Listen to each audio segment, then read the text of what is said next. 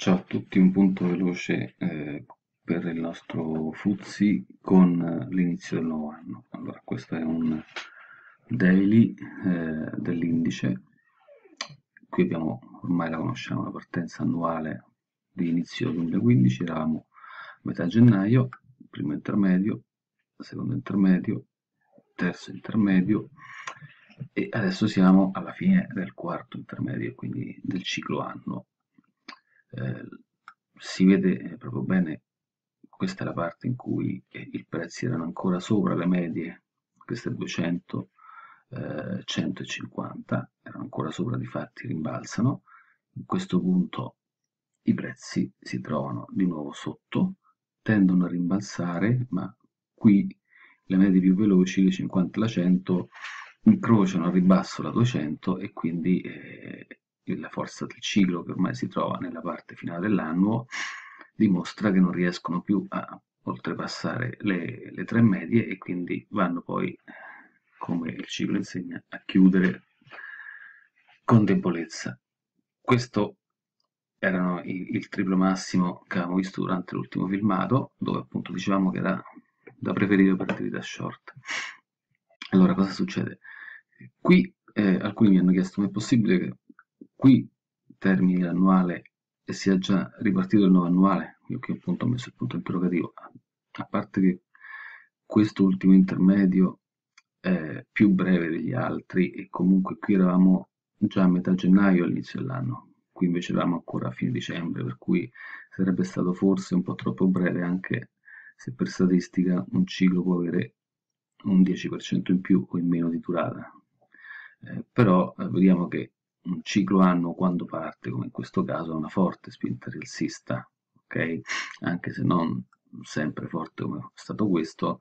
però comunque doveva essere più forte sicuramente di questa. E questo minimo qua, che qui è fatto da supporto, eh, rottura, retest, sicuramente per tre volte eh, non sarebbe valso come minimo come resistenza importante se questa fosse stata una partenza annuale, cioè qui tre volte eh, l'indice, il costo dei prezzi è stato respinto, per cui è, è abbastanza improbabile che già qui sia partito un ciclo annuale, perché altrimenti avrebbe avuto forza per almeno una delle tre volte per rompere i 21,7. Eh, per cui io qui ho messo questa linea grigia che potrebbe essere un'ipotetica fine di, di, anno, potrebbe essere qui qualche giorno prima, ma il fatto sta che mi aspetta ancora qualche giorno di debolezza per poi ripartire bene. Eh, I 20.500 potrebbero essere proprio anche come analisi tecnica un buon punto per, per ripartire, 20.500 comunque in questa, fascia, in questa fascia di prezzo. Quello che è importante è che ci sia una forte spinta rialzista, perché se noi qui ripartiamo con l'annuale, ma non abbiamo una forte spinta rialzista e dovessimo rimanere in quest'area di prezzo, questo perché magari l'America non va a fare nuovi massimi, e poi passato un mese o due mesi dovessimo andare a rompere i 20.500, che è il punto di inizio dell'annuale presumibile, questo vuol dire che poi tutto il ciclo annuale sarà a ribasso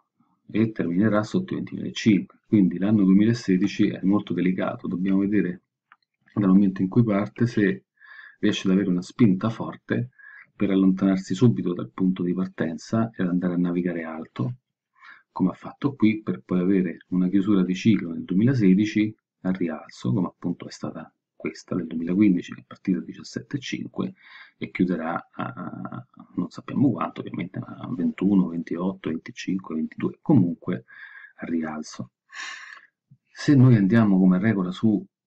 time frame minori andiamo a cercare un punto di, di entrata che può essere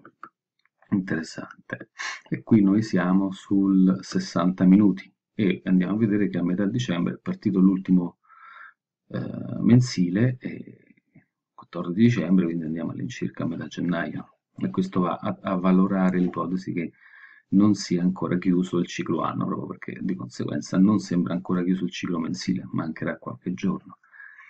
Questo è, è il minimo questa fascia di prezzo del minimo che vedevamo del ciclo precedente che appunto abbiamo detto non è stata rotta. E quindi se questo fosse stato un inizio di ciclo annuale, come dicevamo prima, sicuramente questa questi 21,7 sarebbero stati rotti, invece per due volte hanno tenuto, anche con una divergenza negativa del MACD, per cui diciamo che aspettiamo la chiusura di questo ciclo mensile, un po' di giorni ancora, eh, per avere poi la partenza del ciclo annuale. Okay? Per cui tante volte è importante anche andare nei sottocicli che ti vanno a eh, confermare eh, quello che pensi quando vedi un ciclo di un time frame maggiore. E il fatto che noi qui dessimo come ipotesi i 20.005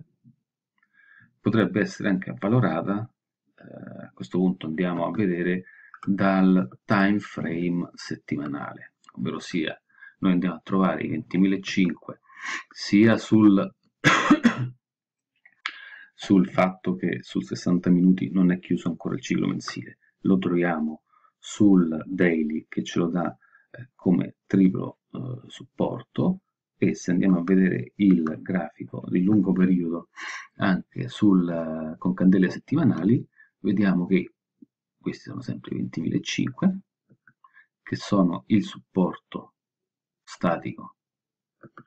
che vediamo qui sul daily ma sono anche un supporto dinamico di lungo periodo che è un supporto che è la base di un canale rialzista. Per cui i 25 sono supporto statico, supporto dinamico e anche come tempo ci dicono che potrebbe essere un, un livello buono perché il tempo dà sia qualche candela ancora di svilupparsi per andarli a testare. Per cui i 25 chiameranno sicuramente un, un buy eh, viceversa, se il tempo passa non dovessero essere testati e dovessimo trovarci questa fascia su 21, eh, però il tempo passa, il ciclo sta per partire e potremo andare in buy alla rottura dei 21,7, con primo obiettivo i 22,8.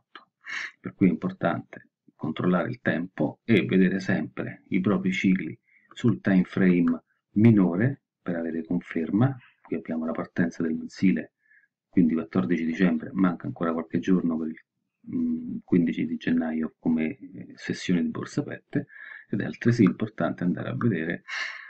su un time frame più alto dove abbiamo la stessa ipotesi. Ok base del canale a 20.500 per cui è partito il nuovo anno dolare ma credo non sia ancora partito il nuovo anno ciclico di borsa per cui ancora un attimo di pazienza e vediamo cosa succede. 20.005 il livello per il buy. Se non dovesse essere testato aspettiamo 21.7 la rottura il livello per il buy. Buon proseguimento ciao e grazie